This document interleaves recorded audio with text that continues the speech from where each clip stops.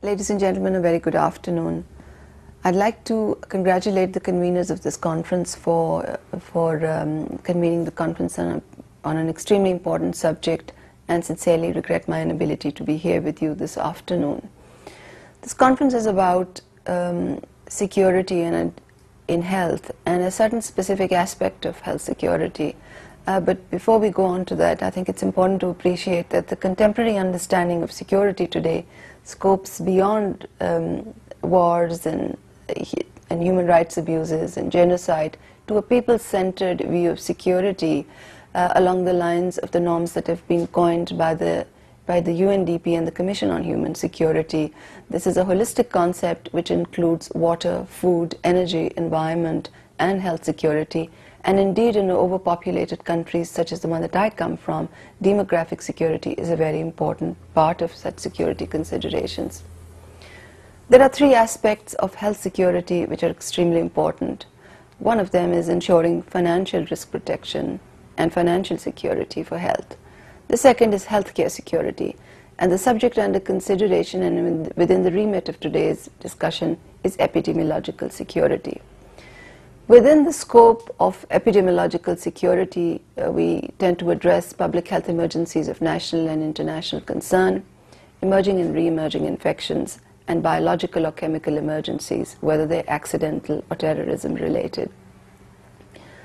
Whilst I speak for a few minutes about epidemiological health security, uh, I'd like to touch upon two aspects. I'd like to talk about uh, global and domestic information systems, and then very briefly, I'd like to talk about the broader health systems issues and constraints, which are an impediment to ensuring epidemiological security within the ambit of health. With reference to a global and domestic information systems, uh, I think it's important to uh, appreciate and understand right at the very outset that domestic information systems within the health sector comprise a plethora of different arrangements. So if you look at a country context, uh, there is surveillance happening in different streams, there's vital registration, there's infectious disease surveillance, which is fragmented into different pockets because of the manner in which vertical public health programs have been initialized in the developing countries. There is surveillance of chronic disease risk factors in, uh, as part of surveys. Then there is surveillance which is being conducted in, um, in registries. Apart from the surveillance activities of a domestic health information system, there are management information systems which are linked to uh, health facilities, there are periodic surveys which are conducted by different agencies in different cycles. They are institutionalized by different development agencies. So the World Bank has its social and living standards measurement survey. The UNICEF tends to support the multiple indicator cluster surveys. Um, the, U the USAID, a bilateral agency, promotes the um, demographic health surveys in many developing countries. And then outside of these health information systems are a number of research activities, academic research activities, um, which have to do with epidemiological research, which have to do with health systems and policy research and clinical trial and so on and so forth. So within this diverse space of health information systems, there are a number of gaps in each area and I'd like to focus on gaps that are relevant to the subject under consideration today. First, the first gap, which I think is of critical importance, is the fragmentation of infectious disease surveillance systems and the lack of integration. Then there are attributes of infectious disease surveillance um, which have not been honed for outbreak and emergency situations. So countries may have um, capacity to conduct active surveillance visits at health facilities. They may have uh, the infrastructure to collect specimens from laboratories and to transport and conduct testings. They may have functioning channels of data reporting and analysis and dissemination. Uh, and they may have defined indicators to measure surveillance uh, quality uh, and they may have infrastructure for training and capacity building. But as I said earlier, they may not be honed for outbreak and emergency situations, and all these capacities may remain fragmented within individual disease domains. And this, to my mind, is one of the core um, impediments and country constraints that needs to be addressed through consolidated capacity building efforts um, supported by international uh, agencies. Secondly, and uh, with reference to domestic information systems, uh, there is, of course, a gap in capacity to confirm clinically diagnosed cases of reportable diseases because of gaps in the public health laboratory network within countries and many developing countries of Asia. Um, there are, of course, inabilities to tap data from the private sector. Uh, for instance, the country that I come from has a large and vibrant private sector with, with, uh, with very little linkages with information system reporting. Then again, citing an example from my own country in terms of a uh, in terms of a health information system constraint, there's absence of a legal system to mandate notification of priority diseases, and my sense is that it may, may similarly be the case with many other developing countries of Asia. Uh, again, from my own country, there's lack of a regulatory framework for laboratory practice. There's absence of legal requirements to report death per se and report cause of death um, in death certificates using the ICD uh, classification for coding. Um, and it may similarly be the case for many other developing countries for Asia. But by far the most important constraint with reference to the subject under consideration is the absence of apex institutional arrangements to collate, consolidate, analyze, interpret and report data and information. Um, so there are a number of ad hoc, overlapping and standalone data systems and then many donor-driven data activities, but the apex arrangement to collate and consolidate them and then uh, analyze and try make triangulations and report data and communicate them to the right agencies in a timely manner uh, is an area where there are significant gaps.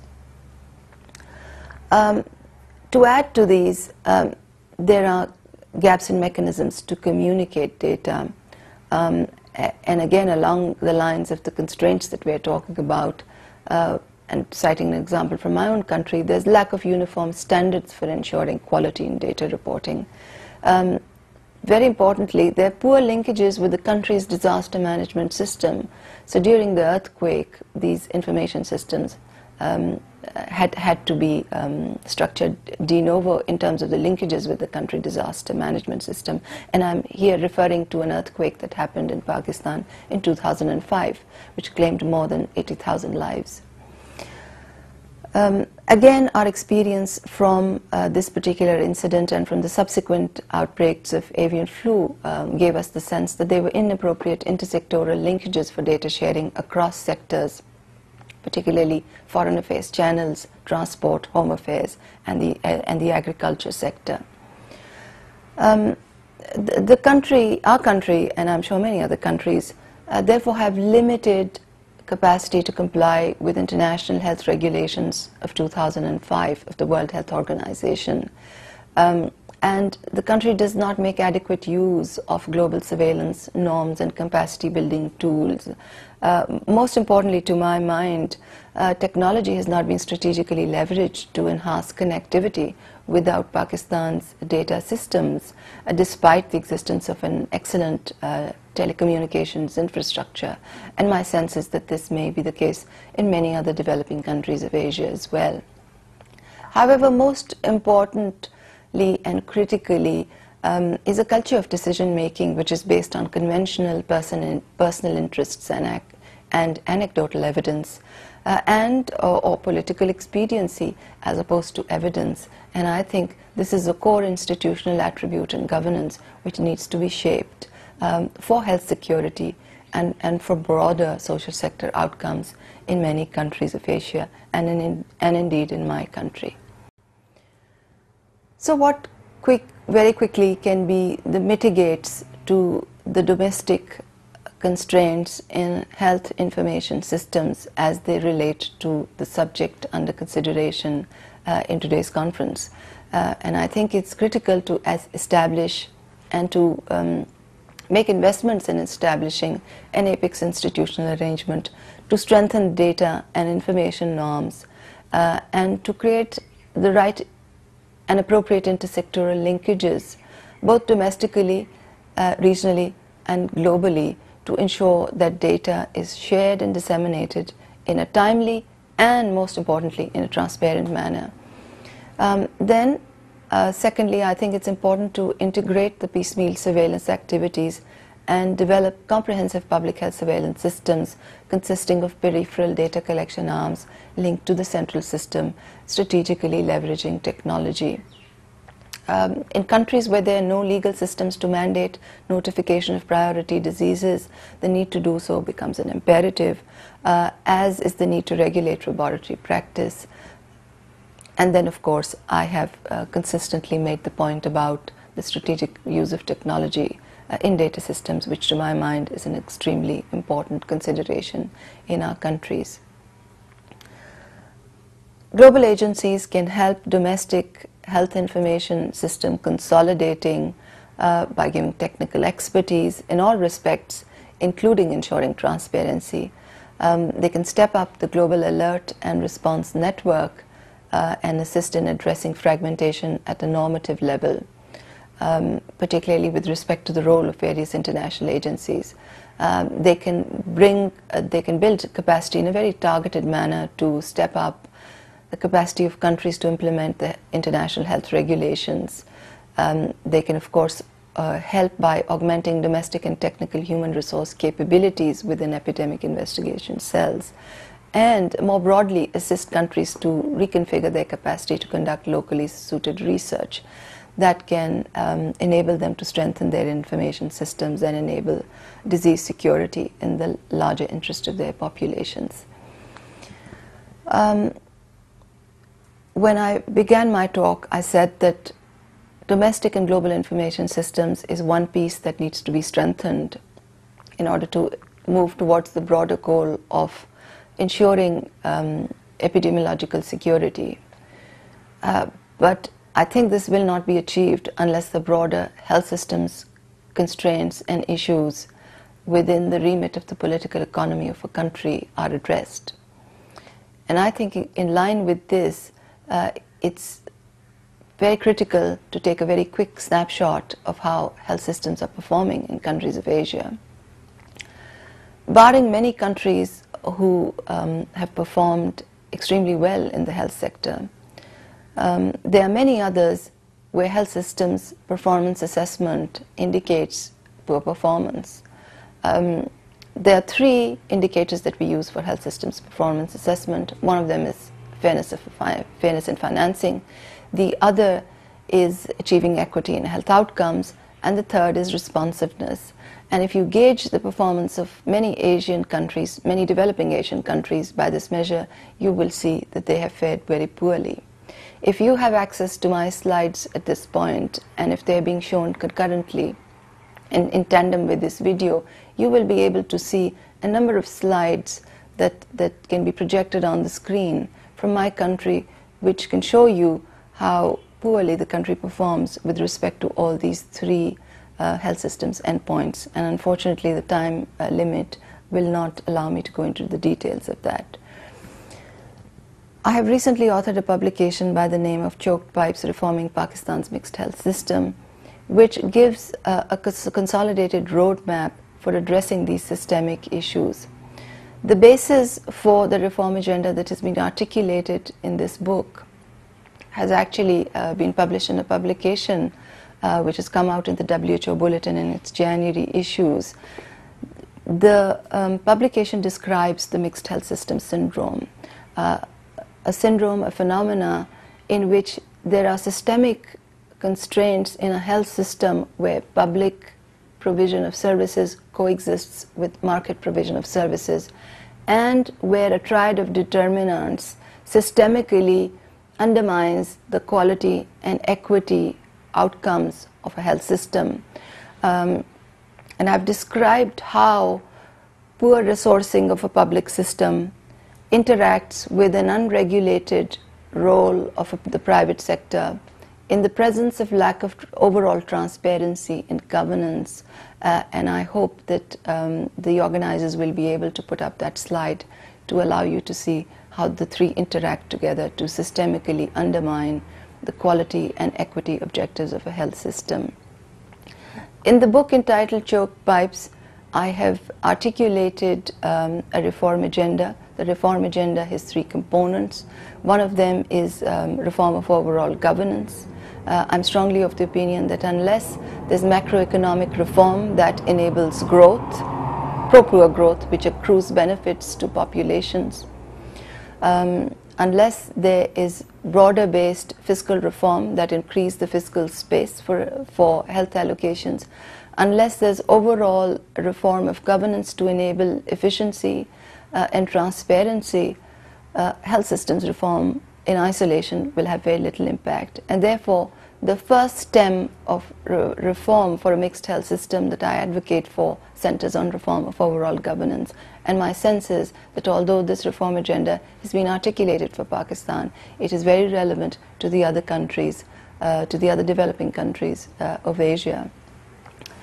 Um, the, the, the, second stem of reform um, centers social, on social sector reform, uh, where, where many areas have been outlined. And the third area of, uh, of reform uh, relates to reform of health systems per se, where five areas of focus have been identified. And again, the slides, uh, which I hope will be circulated to you, uh, outline this uh, in, in bullet points.